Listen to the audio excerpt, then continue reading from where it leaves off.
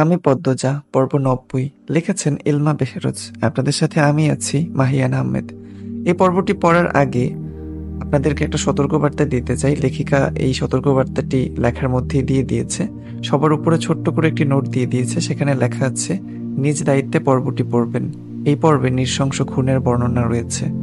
তাই আপনারা যারা শুনতেছেন, আমি সবগুলোই পড়ব। আপনারা যারা শুনতেছেন, তারা একটু নড়ে চড়ে বসবেন। চাঁদটা ঠিক মাথার উপরে, চারদিকে ভয়াবহ নিস্তব্ধতা। জোনাকি পোকা ও রাতের পেঁচা কারোর মুখে রা নেই। এমনকি বাতাসের নিজস্ব শব্দও থমকে গিয়েছে। শুধু শোনা যাচ্ছে তাণ্ডব লীলার আহ্বান। গাছের ডালপালার আড়াল থেকে নিঃসাচর পাখিরা চেয়ে আছে। তারা তেজস্বী পদ্মজার আগমন দেখছে। পদ্মজার এক একটা কদম নিশাচর পাখিদের মনে বজ্রপাতের মতো আঘাত হানছে। তার সাদা শাড়ি থেকে বিচ্ছুরিত সাদা রং নিশাচরদের চোখ ঝলসে দিচ্ছে। পদ্মজার এক হাতে রামদা, অন্য হাতে দড়ি। দড়ি দিয়ে বাঁধা তিনটে নেড়ি কুকুর। দড়ি দিয়ে বাঁধা তিনটি নেড়ি কুকুর। আচমকা কুকুরগুলো চিৎকার করে উঠল। নিশাচর পাখিরা ভয় পেয়ে এক গাছ থেকে অন্য গাছে উড়ে গেল। গাছের ডালপালা নড়ে উঠতেই পদ্মজা সহ তিনটি কুকুর আর চোখে উপরে তাকালো। চার জোড়া হিংস্র চোখ। জল জল করছে।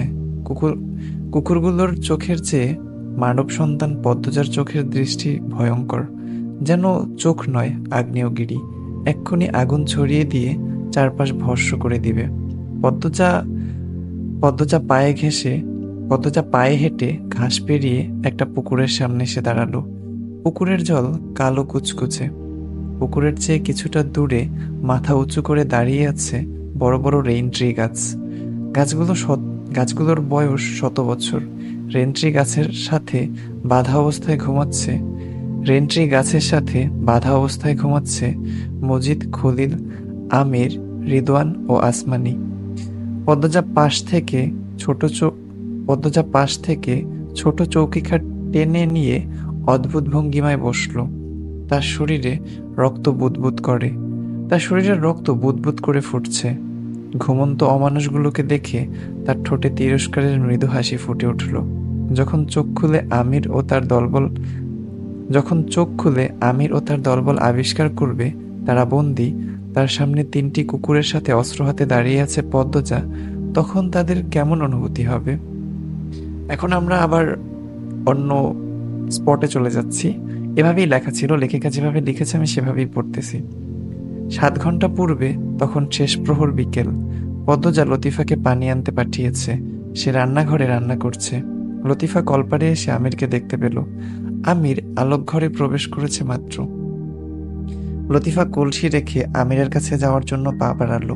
কিন্তু দুই কদম হেঁটে এসে সে থমকে দাঁড়ায়। দ্রুত উল্টো পাশে, দ্রুত উল্টো ঘুরে কলপারে চলে আসে। কলপারের খালি কলসিটা স্থির হয়ে আছে। লতিফা কলসির উপর চোখ নিবদ্ধ রেখে কপাল কুচকায়। নূরজাহানের ঘর থেকে, নূরজাহানের ঘর থেকে তিন দিন আগেই ঘুমের ওষুধ সংগ্রহ করে রেখেছে পদ্মজা। আজ রাতের খাবার পরিবেশন করার পূর্বে খাবারের সাথে ঘুমের ওষুধ মিশিয়ে দেওয়া হবে। যখন সবাই ঘুমিয়ে পড়বে, তখন পদ্মজা আক্রমণ করবে। এই পরকল্প এই পরিকল্পনায় লতিফাকে জানানো হয়েছে। লতিফা কলপারে এসে আমিরকে দেখে দুর্বল হয়ে পড়ে। তার বলে দিতে ইচ্ছে হয়, আমির যেন রাতের খাবার না খায়। কিন্তু মনুষ্যত্ব জেগে উঠল, সে থেমে গেল। আজ লতিফার একখানা বড় কাজ আছে, রিনুকে নিয়ে তার পালাতে হবে। এই বাড়িতে কিশোরী রিনু এসেছে গত বছর। তার আগেও অন্দরমহলে রিনু নামের একজন কাজের মহিলা ছিল। তিনি ডায়রিয়ায় গত হয়েছেন দুই বছর আগে। ইতিম লতিফা প্রথম যখন এই বাড়িতে এসেছিল, মজিদ ও খলিলের দ্বারা জৈন হয়রানির শিকার হয়েছে।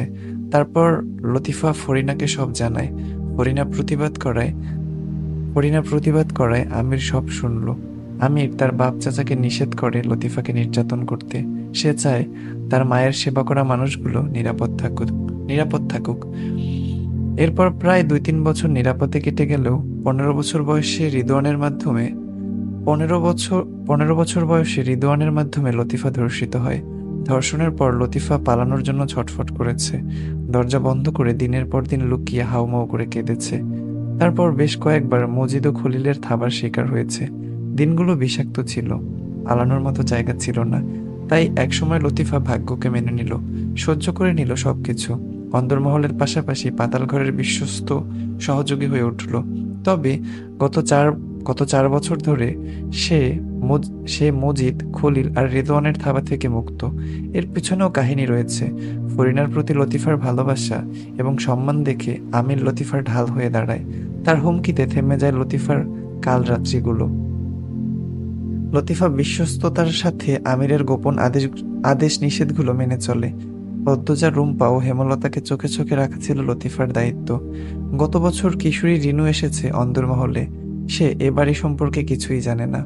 মজিদ হাওলাদারের মজিদ হাওলাদার উদারতা দেখিয়ে এতিম রিনুকে নিজের বাড়িতে নিয়ে আসেন।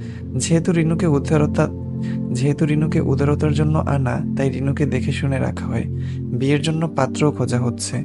কিন্তু লতিফা দেখছে রিদওয়ানের কুদৃষ্টি রিনুর উপর পড়ে আছে।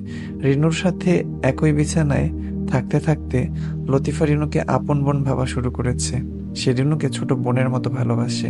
রিনুকে অভিশপ্ত নিখুঁত রিনুকে অভিশপ্ত নিখুঁত যন্ত্রণাময় কালরাত্রিগুলো থেকে বাঁচাতে লতিফা দ্রুত পালাতে চায়।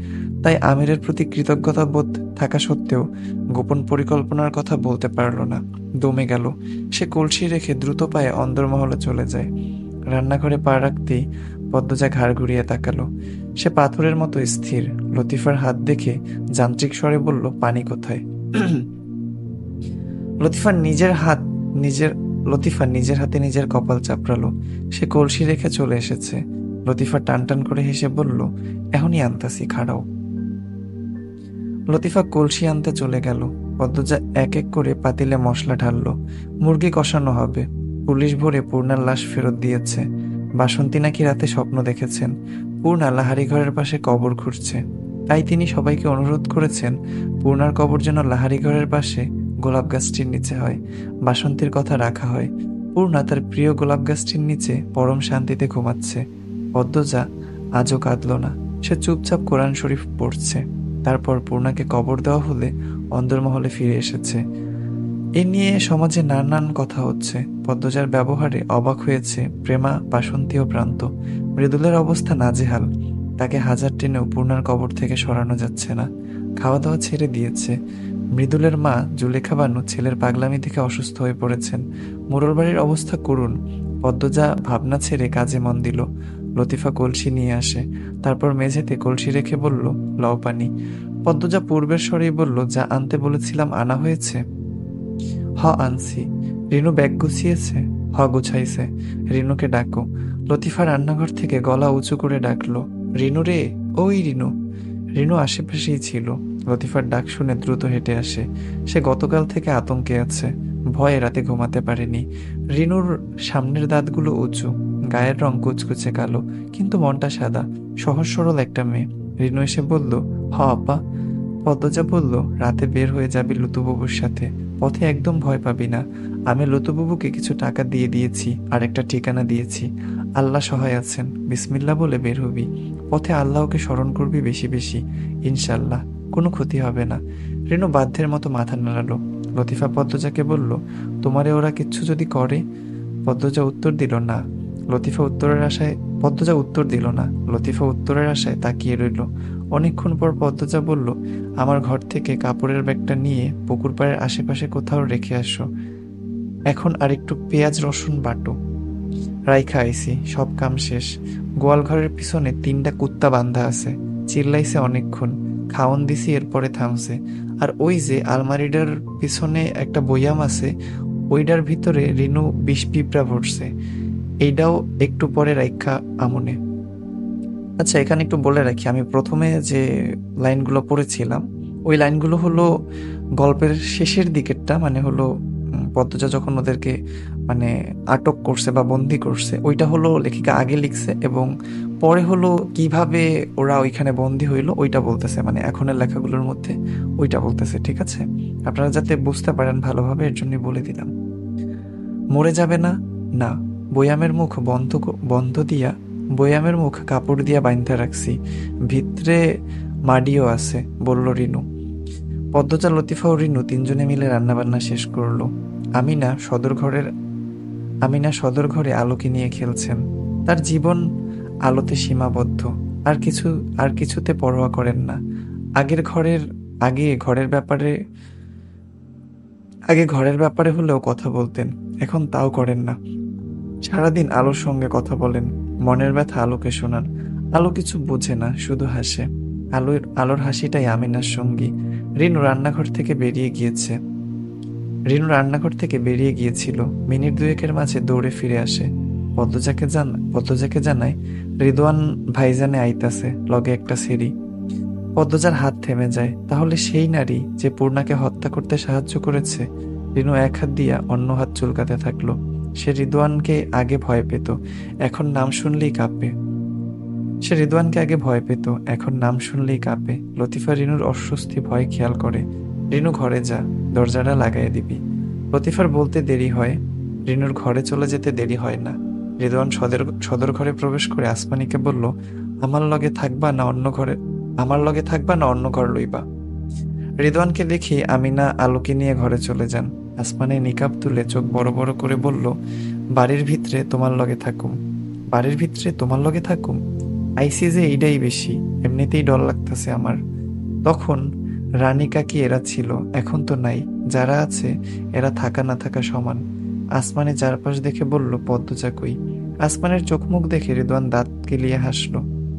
বলল, বাবুর বউ পাগল হইছে, মাথা ঠিক নাই, ভয় পেও না। আসমানি চারপাশ দেখতে দেখতে বলল, মাথা ঠিক নাই দেখেই তো ডর বেশি। রিদওয়ান আসমানের সাথে ঘনিষ্ঠ হয়ে দাঁড়াল। বলল আজিত আজিত ফিরবে কোন দিন? মারে লইয়া শহরে গেছে। আসতে চার পাঁচ দিন তো লাগবেই। তাহলে কয়দিন আমার সাথে থাকো? আসমানি রিদওয়ানের মুখের দিকে তাকিয়ে হাসলো। রান্নাঘর থেকে টুং টুং শব্দ আসছে। আসমানি বলল, পদ্মজা যদি জিগায়, আমি কার কি লাগি? তোমারে চিনে না। তোমারে চিনে না? বাড়ির কাছে থাকো, আজিদের বউ হিসেবে দেখেনি কখনো? না। তাইলে কিছু বলার দরকার নাই। প্রশ্ন করলে উত্তর দিও না। সন্দেহ করলে সন্দেহ করলে কি? না করলে কি? পদ্মজার দাম আছে আর আইসা সারো, আমি পদ্মজারে দীক্ষা আইতাছি। আসমানি রান্নাঘরের দিকে এগিয়ে যায়। সে চোখ সে চোখ বুলিয়ে চারপাশে দেখছে। এই বাড়িতে আসার অনেক ইচ্ছে ছিল তার, কখনো আসতে পারেনি। এই প্রথম আসতে পেরেছে। অন্যবার সোজা পাতাল, অন্যবার সোজা পাতাল ঘরে যেত। লুকোচুরি লুকোচুরি খেলাটা কমেছে বলে ভালো লাগছে। এখন হয়তো প্রতিনিয়ত অন্দরমহলে আসা হবে। লুকিয়ে ভাঙা ফটক দিয়ে পাতাল ঘরে ঢুকতে হবে না। আমির ধানের আমির ধানের বস্তায় পিঠ ঠেকিয়ে বসে আছে। ঘরের অর্ধেক অংশ জুড়ে ধানের বস্তা রাখা হয়েছে। বস্তাগুলো বাঁশের মাচার উপর, মাটি স্যাঁতসেতে। এই ঘরটায় খুব দরকার ছাড়া কেউ আসে না। আবছা অন্ধকারে আমিরের মুখটা অস্পষ্ট। তার হাতে পদ্মজার বেনারসি। বুকটা ধরফর ধরফর করছে। আর মাত্র কয়টা ঘণ্টা?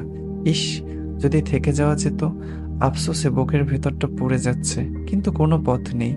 সব পথ বন্ধ। হয় আগুনে ঝলসে যেতে থাকো, হয় আগুনে ঝলসে যেতে থাকো, নয় মৃত্যু গ্রহণ করো। কি নিষ্ঠুর শর্ত।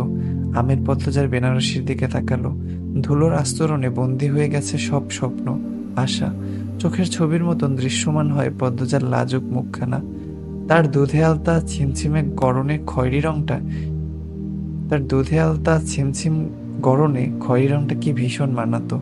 বর্ষাকালের শুক্রবার মানেই ছিল বৃষ্টিতে ভেজা। আমির ঘণ্টার পর ঘণ্টা পদ্মজাকে এক ধ্যানে দেখেছে। মুখস্থ করে নিয়েছে তার প্রতিটি পশমের দৈর্ঘ্য প্রস্থ। আমির কল্পনা থেকে বেরিয়ে বেনারসিতে চুমু দিল।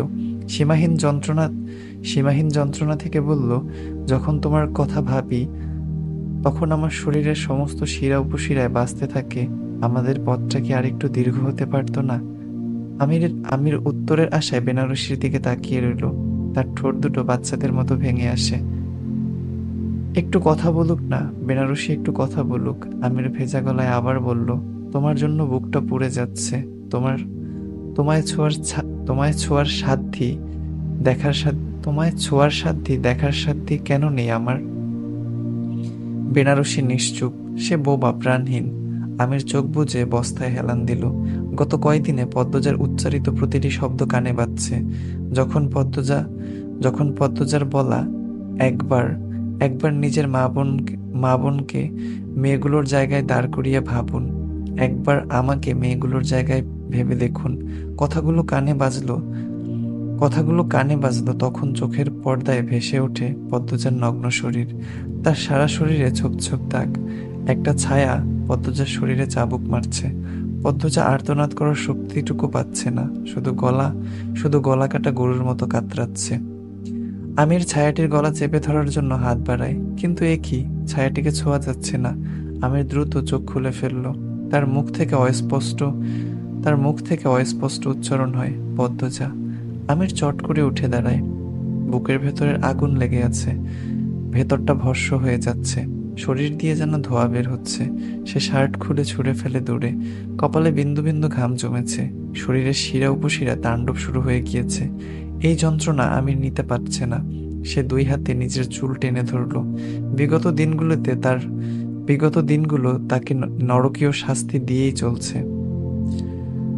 বিগত দিনগুলো তাকে নরকীয় শাস্তি দিয়েই চলছে। চোখগুলো আজে বাজে দেখা, চোখগুলো আজে বাজে দেখছে। মস্তিষ্কের প্রতিটি নিউরন আজে বাজে ভাবছে, পদ্মজা পদ্মজা পদ্মজা। এই পদ্মজাতে কি শক্তি লুকিয়ে আছে? এই পদ্মজাতে কি শক্তি লুকিয়ে আছে? এই একটি মাত্র নাম তাকে নিঃস্ব করে দিয়েছে। বিষাক্ত করে তুলেছে প্রতিটি শ্বাস প্রশ্বাস আমের টিনের দেয়ালে এক হাত রেখে নিজেকে শান্ত করার চেষ্টা করে। মজিদ ক্লান্ত হয়ে আলোক ঘরে বসলেন। এখানে প্রচুর আলো বাতাস। লতিফা মজিদকে আসতে দেখে দ্রুত শরবত আর পান সুপারি নিয়ে আসে। মজিদের সামনে এসে বসে রিদওয়ান ও খলিল মজিদ শরবত পান করে লতিফাকে প্রশ্ন করল, পদ্মজা কথাবার্তা বলেছে? লতিফা নতজন অবস্থায় উত্তর দিল, হ, কইছে। রিদওয়ান লতিফাকে বলল, যে মেয়েটা আসছে, দেখে রাখবি, যত্ন নিবি। লতিফা বাধ্যের মতো বলল আইসা ভাইজান। খলিল বললেন, আশিদপুর থেকে যে বড় পাড়িটা আনছিলাম, পুষ্কুনির পারে ওইটা বিছাবি। বিছাইছি খালু। এশারের আজানটার পরে সব খাওয়ান দাওয়ান দিয়ে আমো। ভালা করছোস। খলিল পান মুখে পুরে বললেন লতিফা শরবতের খালি গ্লাস নিয়ে চলে গেল। মজিদ আরও দুই গ্লাস পানি পান করলেন। তিনি ভীষণ ক্লান্ত, সারাদিন দৌড়ের উপর ছিলেন। রিদওয়ানের রিদওয়ানের ভুল আপাতত মগার উপর, রিদওয়ানের ভুল আপাতত মগার উপর ঘুরে গিয়েছে। মগা গতকাল থেকে বাড়িতে নেই। আবার শেষবার মগার সাথে পূর্ণা ছিল। সবার জবানবন্দির ভিত্তিতে আপাত দৃষ্টিতে মগা খুনি। পুলিশ পুলিশ হাওলাদার বাড়ির দারোয়ানকে খুঁজেছে। মোরল বাড়িতে মোরল বাড়িতে পুলিশ এসে, মোরল বাড়িতে পুলিশ এসেছে শুনেই রিদওয়ান দারোয়ান মোত্তালিবকে হত্যা করেছে। তাই পুলিশ মোত্তালিবকে পেল না। মজিদ হাওলাদার পুলিশকে বলেছেন, তিনি ধারণা করছেন, দারোয়ান ও মগা পরিকল্পনা করে পূর্ণারে ধর্ষণ করার পর হত্যা করেছে। পুলিশ এখন দারোয়ান মুত্তালিব ও মগাকে খুঁজছে। রিদওয়ান নিরাপদে আছে। খলিল মজিদকে বললেন, ভাইজান কিছু ভাবছেন? কি নিয়ে? মজিদের নির্বিকার নির্বিকার স্বর। রিদওয়ান ভ্রুকুটি হয়ে গেল। রিদওয়ান ভ্রুকুটি হয়ে গেল। সে চারপাশ দেখে বলল, আপনি এত নির্বিকার কেন, চাচা? আজ আমিরকে খুন করার কথা ছিল। মজিদ এক হাত তুলে রিদওয়ানকে চুপ করতে ইশারা করলেন, তারপর বললেন, বাবু যদি আমাদের কথা না শুনে তখন ব্যবস্থা নিব, এর আগে না। হৃদনের মুখটা ফ্যাকাশে হয়ে যায়। সে সে নাছরবান্দা স্বরে বলল, আমির কখনোই পদ্মজাকে খুন করবে না, সেকুলবন্দিও করবে না। মজিদ গম্ভীর স্বরে বললেন, দেখা যাবে। রিদওয়ান খলিলের দিকে তাকালো। তারপর অধৈর্য হয়ে মজিদকে বলল, আমিরের জন্য আমাদের ক্ষতি না হয়ে যায়। মজিদ খলিলকে বললেন, দেখ তো, আশেপাশে কেউ আছে নাকি? ঘরগুলোও দেখবি। আমির মাত্র বের হয়ে যাচ্ছিল। মজিদের শেষ কথাটা কানে আসতেই সে দরজার আড়ালে লুকিয়ে পড়ে। খলিল আলোক ঘরের প্রথম দুটো ঘর দেখে আলোক ঘরের প্রথম দুটি ঘর দেখে এসে বললেন, কেউ নাই। তারপর চেয়ারে বসলেন। রিদওয়ান খলিলের দিকে তাকিয়ে ইশারা করে মজিদকে, ইশারা করে মজিদকে বোঝাতে, খলিল মজিদের আরেকটু কাছে এসে বসলেন। তারপর বললেন ঋতু কিন্তু হাঁচা কথা কইতাছে ভাইজান, বাবুরে দিয়ে আর ভরসা নাই। মজিদ রিদওয়ানের দিকে তাকিয়ে বললেন, তুই কি বোঝাতে চাচ্ছিস? বাবু আমাদের খুন করে পদ্মচাকে নিয়ে সংসার করতে চাইবে? রিদওয়ান তড়িৎ গতিতে বলল, এটা কি সম্ভব না, কাকা? আলমগীর ভাই কি করল? মজিদ নির্লিপ্ত কণ্ঠে খলিলকে বললেন, খলিল, তোর ছেলের বুদ্ধি এখনও হাঁটুতে আছে। রেদওয়ান উঠে দাঁড়ায়, তার মাথা চড়ে যাচ্ছে। মজিদ বললেন, তুই আমার পাশে বস, তোর মাথায় কিছু কথা ঠোকাতে হবে। রেদওয়ান মনের বিরুদ্ধে আবার বসল। মজিদ বললেন, চুপ করে আমার কথা শোন। আলমগীর আর বাবুর মধ্যে আকাশ পাতাল পার্থক্য। পাতাল ঘরের রীতি পূর্বপুরুষ থেকে পাতাল ঘরের রীতি পূর্বপুরুষ থেকে পেলেও নারী বাচ্চার চক্রটার সৃষ্টি বাবুর। এই চক্রে আলমগীর, তুই, আমি আর খলিল বাবুর দলের একটা অংশ মাত্র। আমরা সরে গেলে আমাদের উপর রাগ একমাত্র, আমরা সরে গেলে আমাদের উপর রাগ একমাত্র বাবুই ছাড়তে পারবে। কিন্তু এই চক্রের শুরুটা যে করেছে, সে হচ্ছে নেতা। গত সপ্তাহে বাবু ঢাকা থেকে একটা খাম নিয়ে আসছে। খামের চিঠিতে স্পষ্ট লেখা ছয় মাস পর বাবু নিজ দায়িত্বে ষোলো টিমে সিঙ্গাপুরে পাঠাবে। সারনার জনের সারনার জনের সাথে তিন মাস আগে থেকে চুক্তিবদ্ধ বাবু। বাবুর স্বাক্ষর আছে চিঠিতে। বাবু প্রতিজ্ঞাবদ্ধ। রেদওয়ান বলল, পড়ছি আমি। কিন্তু টাকা কি করছে? আমাদের তো দেয়নি। মজিদ বিরক্তিতে কপাল কুচকালেন। তিনি কথার মাঝে কথা বলা একদম পছন্দ করেন না। বললেন, হয়তো কাজ শেষে দিত। আমার পুরো কথা শোন। কথার মাঝে কথা বলবি না।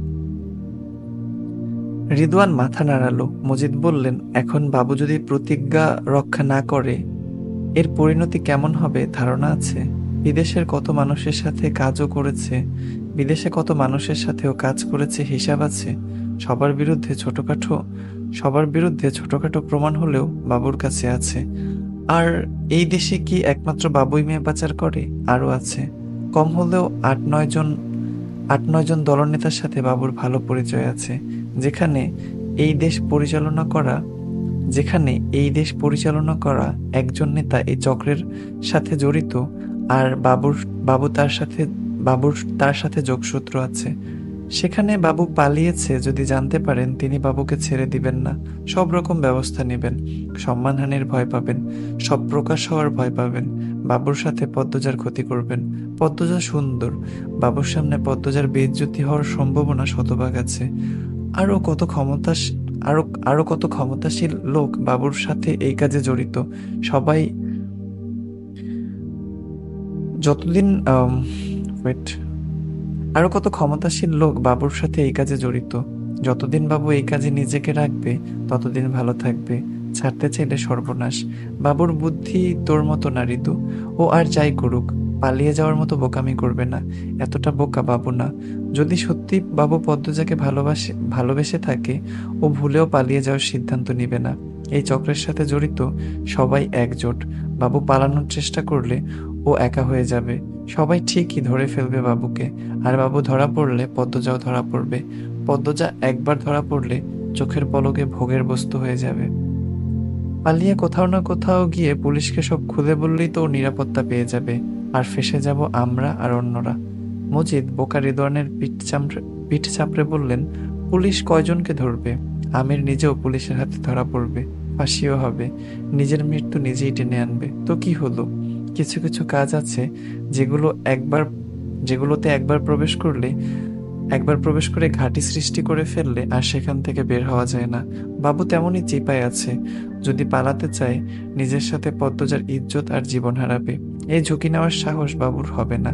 আমি নিজের চোখে ঢাকায় দেখেছি। পদ্মজা অসুস্থ হয়ে আমি নিজের চোখে ঢাকায় দেখেছি। পদ্মজা অসুস্থ হয়ে ঘরে ঘুমাচ্ছে আর আমির বাড়ির সব কাজ করেছে। পদ্মজার জন্য হলেও বাবু পাতাল ঘর আর আমাদের আঁকড়ে ধরে রাখবে। দেশে কি জায়গার অভাব আছে? কোথাও না কোথাও ঠিক লুকিয়ে থাকতে পারবে। ওর কাজ করতে হবে না? ঘরে বসে খাবে? তুই নিজ চোখে দেখছিস? আমির কীভাবে মাত্র দশ দিনে আলীকে রাজশাহী থেকে ধরেছে। আমির কীভাবে মাত্র দশ দিনে আলীকে রাজশাহী থেকে ধরেছে? আলীর আলীর পালিয়ে যাওয়া আমিরের জন্য হুমকি ছিল। তাই চিরুনি অভিযান চালিয়ে ঠিক খুঁজে বের করেছে। আমিরের অভিজ্ঞতা আছে। আমির পদ্মজাকে নিয়ে এত বড় ঝুঁকি নিবে না। আমির চিনে তার পেশার রক্ত কেমন। এতদিন অন্য মেয়ে এতদিন অন্য মেয়েদের পিটিয়েছে। তখন নিজের বউকে পেটাতে দেখবে। মজিদ থামলেন, দাঁত বের করে হাসলেন। এত কথাতেও রিদওয়ানের মনে শান্তি এলো না। সে দুই হাত তুলে বলল আচ্ছা ধরলাম। আমির পালাবে না। কিন্তু পদ্মজাকে বেজ্জতি করার জন্য আমাদের খুন করবে না তার নিশ্চয়তা আছে? মজিদ হাওলাদার এবার রেগে গেলেন। বললেন, বাবুর যখন এই কাজের সাথে থাকতেই হবে, তখন আমাদের খুন করে নিজের পায়ে নিচে কুড়াল কেন মারবে? খোলের তোর ছেলেরে নিয়ে যা, তারপর গোয়ালঘর থেকে কতগুলো গোবর খাইয়ে দে। অপমানে রিদওয়ানের মুখটা থমথমে হয়ে যায়। সে ঘন ঘন নিঃশ্বাস নিতে থাকল। আমিরের জায়গাটা সে কিছুতেই দখল করতে পারছে না। ব্যর্থ হচ্ছে বারবার। রিদওয়ান চেয়ারে লাথি মেরে চলে গেল। খলিল বললেন, ভাইজান, আসমানিরে আনা কি ঠিক কাম হইল? একদম না। রিদওয়ান আবার আরেকটা ভুল করল। বাড়িতে কেউ নাই। বাড়িতে কেউ নেই বলে ঝুঁকি নিয়ে যা ইচ্ছা করছে। আবার বিপদে পড়লে আমার পা যেন না চাটে বলে দিস। খলিল মুখ থেকে পানের পিচকিরি ফেলে বাইরে চোখ নিবদ্ধ করলেন। ক্রোধে আক্রোশে আমিরের কপালের রগ ভেসে ওঠে, তার চোখ দুটি রক্তবর্ণ ধারণ করে। সে রাগে সে রাগে এক হাতে দরজা চেপে ধরল। তার দুর্বলতা ধরতে পেরে মজিদের আনন্দ হচ্ছে, মজিদের হাসি দেখে আমিরের গা জ্বলে যাচ্ছে। সে একবার ভাবলো, এক্ষুনি গিয়ে মজিদের গলা চেপে ধরবে। কিন্তু পরক্ষণে কি ভেবে থেমে গেল? চলে এলো ধান রাখার ঘরে। ধানের মাচার ভেতর উকি দিয়ে দেখল, চাপাতিয়ার রামদা ঠিকঠাক আছে নাকি? হ্যাঁ ঠিকঠাকই আছে। আমির স্বস্তির নিঃশ্বাস ছাড়লো। জানালা খুলে বাইরে তাকাতেই বিকেলের রংহীন ধূসর কুয়াশা চোখে পড়ে। পদ্মজা পালঙ্কের উপর গাঠ হয়ে বসে আছে। এশারের নামাজ আদায় করে মাত্রই উঠেছে। তার পরনে সাদা শাড়ি। লতিফা হন্তদন্ত হয়ে ছুটে পদ্মজাকে জানালো, সে পুকুর পাড়ে খাবার রেখে এসেছে। বেশ সুন্দর করে সাজানো হয়েছে চারপাশ। মজিদ খলিল আমির, মজিদ খলিল আমির রিদুয়ান ও আসমানি এক্ষুনি যাবে। পদ্মজা নিস্তেজ গলায় বলল এক্ষুনি যাবে। পদ্মজা নিস্তেজ গলায় বলল, ওরা ঘুমিয়ে পড়লে আমাকে ডেকো। তার শান্ত স্বর। কথা শুনে মনে হচ্ছে পদ্মজা লতিফাকে ঘর ঝাড়ুর জন্য অথবা রান্না রান্না করার জন্য ডাকতে বলেছে। লতিফা দৌড়ে বেরিয়ে যায়। তার বুকের ভেতর, তার বুকের ভেতর দামামা বাজছে। মনে হচ্ছে যুদ্ধ শুরু হতে চলেছে। এ তো সত্যিই যুদ্ধ। লতিফার ঘাম হচ্ছে। চাপা একটা আনন্দও কাজ করছে। কি অদ্ভুত। রান্নাঘরে আসমানে গিয়েছিল ঠিকই। কিন্তু পদ্মজাকে রান্নাঘরে আসমানে গিয়েছিল ঠিকই, কিন্তু পদ্মজাকে কথা বলাতে পারেনি। পদ্মজা একটাও জবাব দেয়নি। সে আসমানিকে পুরোদমে এড়িয়ে গিয়েছেন। আসমানি নিরাশ হয়ে বেরিয়ে যায়। তারপর আর তাদের দেখা হয়নি। পদ্মজা বিছানা থেকে নেমে শক্ত করে হাতে খোপা করল। জানালা গলে চাঁদের আলোয় পদ্মজার জানালা গলে চাঁদের আলো পদ্মজার পায়ের উপর পড়ে। নিখুঁত কালো রাতকে চাঁদ তার নরম আলোয় আচ্ছন্ন করে রেখেছে। পদ্মজা চাঁদের আলোকে ছোঁয়ার চেষ্টা করে। ছোঁয়া গেলে ঠিকই অনুভব করা যেত। ছোঁয়া গেলে ঠিকই অনুভব করা ছোঁয়া গেল ঠিকই অনুভব করা গেল না। পদ্মজার কান পদ্মজার কানের পাশ দিয়ে শাসা করে বাতাস উড়ে যায়। সে বাতাসের শীতল সে বাতাসের শীতলতাকে আগুনের আঁচের মতো অনুভব করছে। তারা পাঁচজন গোল হয়ে বসেছে। খাবারের সুন্দর ঘ্রাণে চারপাশ মৌ মৌ করছে।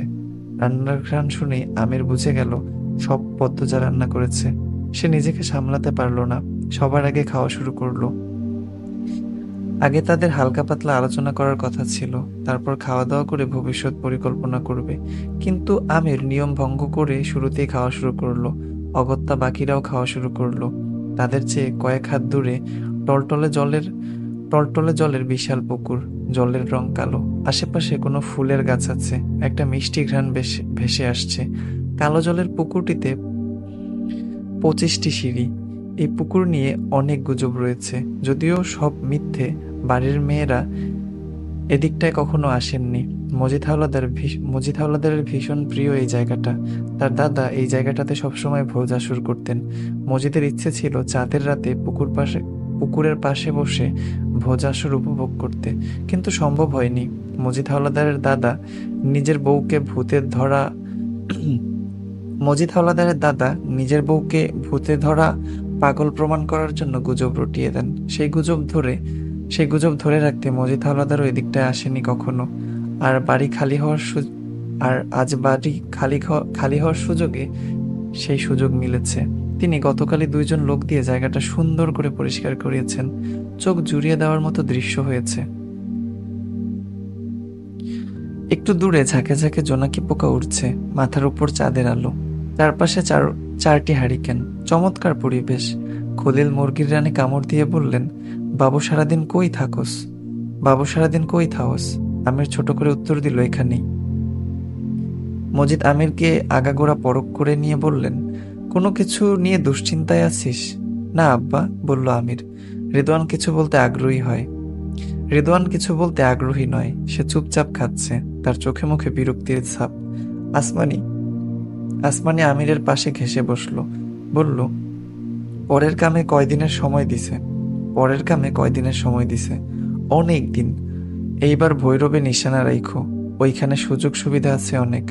মজিদ আসমানের সাথে তালে তাল মেলালেন। আমিও ভৈরবের কথা বলতাম। আমির রিদওয়ানের দিকে তাকিয়ে বলল, এই কাছে রিদওয়ান নিক। আজিত আর হাবুরে নিয়ে কয়দিনের জন্য ট্রলার নিয়ে ভৈরবে চলে যাবে। আজিত আর হাবুরে নিয়ে কয়দিনের জন্য ট্রলার নিয়ে ভৈরবে চলে যাবে। রিদওয়ান না চাইলেও রিদওয়ান না চাইতেও সম্মতি জানালো, আমির আর চোখা পেছনের দিকে তাকালো। আমির আর চোখা পেছনে তাকালো। তার চেয়ে পাঁচ হাত দূরে একটা রেন্ট্রি গাছ। গাছের গাছের পেছনে সে চাপাতি আর রামদা রেখেছে। আর একটু রাত বাড়লে যখন সবাই ক্লান্ত হয়ে যাবে, নেশা করবে, তখন সে আক্রমণ করবে। দুই হাতে দুই অস্ত্র নিয়ে রিদওয়ান ও মজিদকে আঘাত করা তার লক্ষ্য। তারপর খলিল ও আসমানের আবার পড়ি লাইনটা। দুই হাতে দুই অস্ত্র নিয়ে রিদওয়ান ও মজিদকে আঘাত করা তার লক্ষ্য। তারপর খলিল ও আসমানি বাহাতের খেল বাহাতের খেল। আমের চুপচাপ প্রহর গুনতে থাকে। খাওয়া শেষে প্লেটগুলো দূরে রাখা হয়। প্লেটগুলো সরানোর জন্য মজিদ চারপাশে চোখ বুলিয়ে লতিফাকে খুঁজলেন। লতিফা আশেপাশে নেই। অন্যবার তো থাকে, আজ কোথায়? মজিদ বিরক্ত হলেন। তিনি মনে মনে লতিফাকে একটা নোংরা গালি দিলেন। তারপর পরবর্তী ডিল নিয়ে কথাবার্তা শুরু করেন। কীভাবে এগোতে হবে, কোন এলাকায় যেতে হবে, বর্তমান পরিস্থিতি কীভাবে স্বাভাবিক করা যায়, এসব নিয়ে আলোচনা চলতে থাকে। রিদওয়ানের চোখ মুখ রিদওয়ান চোখ মুখ কুচকে বসে আছে। মজিদ হাওলাদার আমিরকে কি প্রশ্ন করবেন? বলছিলেন, তাও করছে না। এই বুড়ো আবার গুটি পাল্টে দিচ্ছে। আমির কথা কম বলছে, সে মুখ্যম সুযোগের অপেক্ষায়, কিন্তু তার সুযোগ আসার পূর্বেই সে এবং বাকিরা ঘুমের কাছে হেরে যায়। এতই ঘুম পেয়েছিল যে তাদের শরীর অন্দরমহলে যাওয়ার অন্দরমহলে যাওয়া অবধি ইচ্ছা শক্তি পায়নি। লতিফা কিছু দূরে অন্ধকারে লেবু গাছের আড়ালে বসেছিল। মশার কামড়ে মশার কামড়ে তার হাত পা বিষিয়ে দিয়েছে। মশা কামড়ে তার হাত পা বেশিয়ে দিয়েছে। যখন দেখল ভোজ আসরের পাঁচজনই ঘুমিয়ে পড়েছে, তার ঠোঁটে হাসি ফুটে ওঠে। সে ছুটে যায় অন্দরমহলে। পদ্মজা সদর ঘরে শান্ত হয়ে বসেছিল। লতিফা হাঁপাতে হাঁপাতে সব জানালো। তারপর তারা লুকিয়ে রাখা দড়ি আর ওড়না নিয়ে চলে আসে পুকুর পাড়ে। পদ্মজা লতিফা ও রিনু মিলে ঠান্ডা মাথায় মজিদ, খলিল, আমির, রিদওয়ান এবং আসমানের হাত, পা, মুখ বেঁধে ফেলল। তারপর এক এক করে টেনে, তারপর এক এক করে টেনে নিয়ে গেল রেন্ট্রি গাছের সামনে। পাঁচজনকে পাঁচটি গাছের সাথে বেঁধে তারা স্থির হয়ে দাঁড়াল। লতিফা, রিনু ঘেমে একাকার। রিনু তো ভয়ে তরতর করে কাঁপছে এমন একটি দুঃসাহসিক কাজে অংশগ্রহণ করতে পেরে সে হতবম্ব পদ্মজা বলল, এবার তোমরা বেরিয়ে যাও। লতিফা ও রিনু দুজনের গায়ে বোরকা ছিল। তারা ব্যাগ নেওয়ার জন্য অন্দরমহলে দৌড়ে যায়। পদ্মজা বিদায় জানাতে অন্দরমহলে আসে। বের হওয়ার পূর্বে রিনু ও লতিফা পদ্মজাকে জড়িয়ে ধরে কান্না করে দিল। লতিফা বিষণ্ন গলায় বলল আবার দেখা হবে তো পদ্ম। আল্লাহ চাইলে আবার আমাদের দেখা হবে বুবু। সামলাইতে পারবা সব? পারব। তুমি বেরিয়ে যাও। আর দেরি করো না। লতিফা এক হাতে ব্যাগ নিয়ে অন্য হাতে রিনুর হাত ধরলো। তারপর ছলছল চোখে পদ্মজাকে একবার দেখে বেরিয়ে পড়ল অচেনা গন্তব্যে। আমিনা সদরঘর থেকে সবকিছু দেখছেন। এতদিনের এতদিনের পুরনো কাজের মেয়ে চলে যাচ্ছে কেন? তিনি প্রবল আগ্রহ আগ্রহ নিয়ে পদ্মজাকে প্রশ্ন করলেন, লতু কই যাইতাছে? পদ্মজা শান্ত স্বরে বলল, শহরে যাচ্ছে। ও মা, কার কাছে? আপনি ঘরে যান, সকাল হওয়া অব্দি বের হবেন না। আমি না অবাক হয়ে জানতে চাইল, কে রে? পদ্মজা তীক্ষ্ণ তোকে, পদ্মজা তীক্ষ্ণ চোখে তাকিয়ে বলল, এতদিন যেসব, এতদিন যেরকম নির্জীব ছিলেন, আজও থাকুন। পদ্মজা রান্নাঘর থেকে হাতে রামদা তুলে নিল, তারপর আমিনারকে জোর করে ঘরে ঢুকিয়ে বাইরের দরজা বন্ধ করে দিল। দরজা বন্ধ করার আগে আমিনার উদ্দেশ্য করে বলল, যদি কোনো শব্দ করেন, আপনার মাথা শরীর, আপনার মাথা শরীর থেকে আলাদা হবে। তারপর পদ্মজা রামদা নিয়ে গোয়াল ঘরে গেল। সেখান থেকে তিনটি নেড়ি কুকুর, সেখান থেকে তিনটি নেড়ি কুকুর নিয়ে পুকুর পাড়ের পথ ধরলো। আচ্ছা প্রথমে যে একটু পড়ছিলাম, আপনাদের মনে আছে মনে হয় যে পদ্মজা নেড়ি কুকুর নিয়ে তাদের সামনে গিয়েছিল? এখন আমরা আবার সেই স্পটে চলে এসেছি এবং সেখান থেকেই পড়া শুরু করতেছি।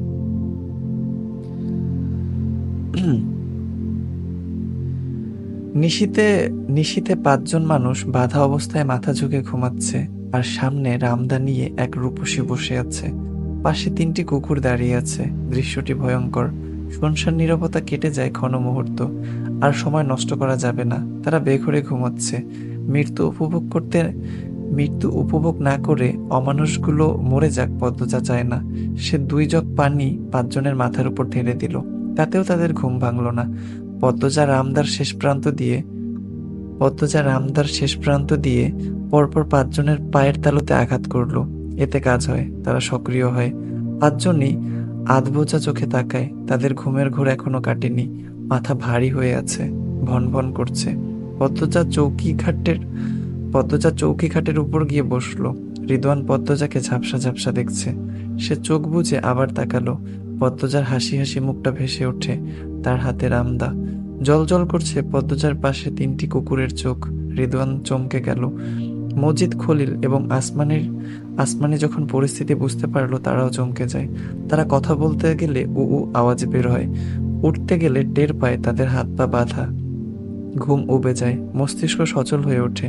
রিদওয়ান অবাক চোখে মজিদের দিকে তাকায়। মজিদও তাকালেন। তারা ছোটার জন্য ছটফট করল। কিছু একটা বলার চেষ্টা করল, কিন্তু কোনো চেষ্টাই সফল হচ্ছে না। আমির পদ্মজার দিকে তাকিয়ে আছে। তার চোখ দুটি বারবার বুঝে যাচ্ছে, তবে পরিস্থিতি ধরতে পেরেছে। সে সবসময় বলে, পদ্মজান পদ্মজার নাকি নিজস্ব আলো আছে। এই যে, এখন তার মনে হচ্ছে, অন্ধকারাচ্ছন্ন অতলে যখন সে তলিয়ে যাচ্ছিল, তখন পদ্মজা এসে আলোর মিছিলে ভরিয়ে দিয়েছে তার মনের উঠান। এই পর্যন্ত ছিল আমি পদ্মজা, পর্ব নব্বই। পরবর্তী পর্বগুলো খুব দ্রুত আসবে। পরবর্তী পর্বগুলো দেখার জন্য চ্যানেলেই চোখ রাখবেন। ভালো থাকবেন, সুস্থ থাকবেন। আল্লাহ হাফিজ।